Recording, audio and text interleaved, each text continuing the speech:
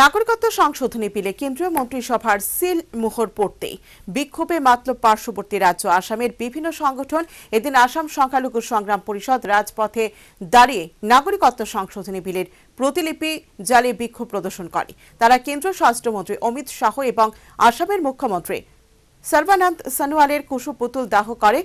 এই সংগঠনটির মতে, নাগরিকত্ব সংশোধনী বিলে সংখ্যালঘুদের কোনো কথা উল্লেখ নেই, তাই তাদের উপর খাড়া নেমে আসতে পারে বলেই এই বিক্ষোভ প্রদর্শন করা হচ্ছে।